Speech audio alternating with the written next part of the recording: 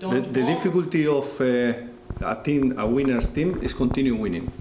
This is the great difficulty. Always, uh, you know, after winning two championships, and sometimes even winning one, when you are not used to, the coming season normally is difficult. I don't want to think about uh, three games, about uh, two games. Even I don't want to think about tomorrow. I want to think about today. That's what I think is going to be the approach from now on.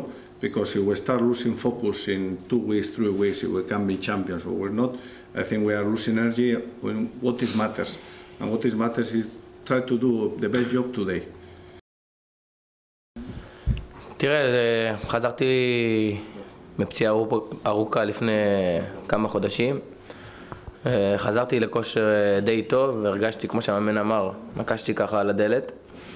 אבל אה, בא לי עוד איזושהי פציעה קטנה שהחזירה אותי טיפה אחורה. אבל אה, לאט לאט אה, נחזור לכושר טוב. אלה דברים, אפשר להגיד נורמליים אחרי פציעה כל כך ארוכה.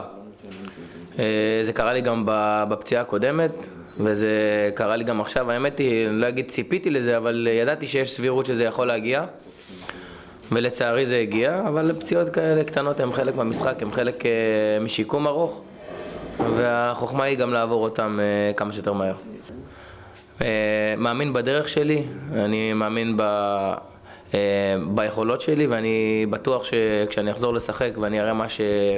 מה שאני בעצם הכי אוהב לעשות, מה שאני הכי יודע, אני אראה, זאת הדרך הכי טובה שלי כדי להראות לאנשים במועדון שאני ראוי להמשיך פה.